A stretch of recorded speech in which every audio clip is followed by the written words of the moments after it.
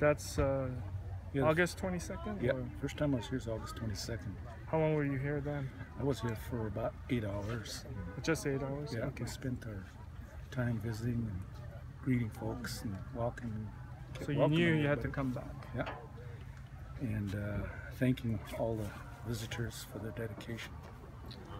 And uh, one of the biggest moments for me was I felt the ancestors while I was here, and how I know this because I had this uh, move, moving experience personally for two days. Uh huh.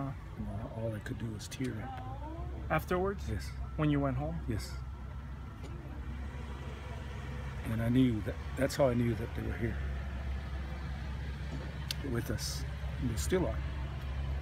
And I was a part of that uh, whirlwind too on, I believe it was on Tuesday afternoon. I don't know if you heard about it, but there was a whirlwind that uh, appeared in the middle of the circle Oh, by wow. the campfire. Really? And it went through the camp very slowly. Mm-hmm.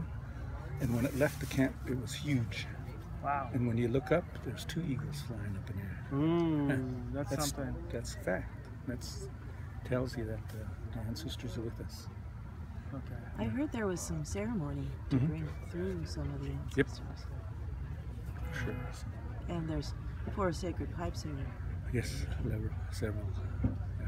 How about in terms of the water issue? What's going on? Well, uh, as far as I know, I, I have been working with the uh, legal department because I'm on a tribal council.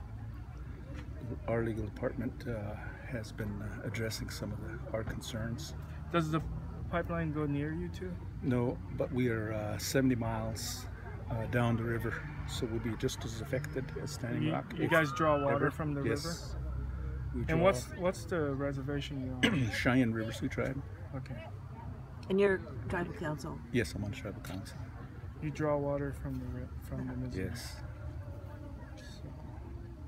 and uh, yeah, if uh, if it ever goes under the river, it's Mhm. we're all at the mercy of the Murphy's Law. Right. Yeah. Well, they're having what, a oil what spill. can go wrong will go wrong. They have an oil spill right now in Alabama. Yep. Th- Over 300,000 gallons. Everywhere, all over the country, there's a lot of oil spills Yeah. under under uh, Yellowstone, Oh yeah. that river there, in Wyoming, Montana. There's one. They're declared two counties uh, natural, or not natural, but uh, emergencies in those counties, and uh, several, about a dozen in the last two years that I know. Yeah. Been following a lot of that. So uh, we're doing what we can as, as our with our tribal uh, legal department to address some of those issues. I believe there's a meeting scheduled on Monday for the tribal leaders here with the uh, North Dakota Highway Patrol. Oh really? Yes. So I think that's going to be a landmark meeting there. Hope to be there to address some of my concerns. What would they hope to accomplish? Well, I think the first thing we need to do is continue coming back to the table. Because right now, it's just like everything is, they did this, they did that, Right. back and forth. So, so I think if we come together, maybe we can uh, make something of this. And I want them to honor the uh, Department of Justice's demand that they not, not encroach the river 20 miles east or west. Oh okay, right. Do you think they'll try to violate that? Oh, of course. Because that's a it would cost uh, you know tens if not hundreds of millions to divert it, right? Right. It'll cost them a lot more money, but it was their choice to proceed without the permit to go under, to tunnel under the river. they don't have that permit yet, Oh they don't?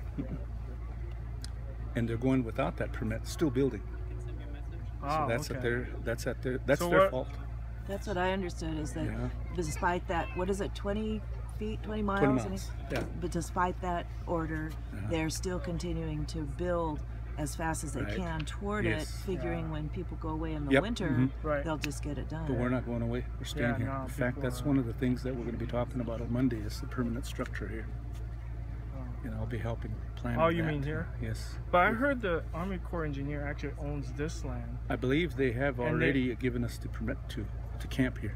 Yeah, until So- December. But what if they Mhm. pull? They don't renew the permit.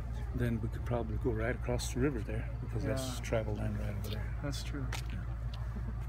The Cannonball River is the reservation border on the north side. well, I got to get going. I'm All looking right. for some friends down there. Good meeting you, Raymond. Yeah, Yes. same here. Thank you, You guys so take much. care. Wonderful. Hopefully, see you guys down.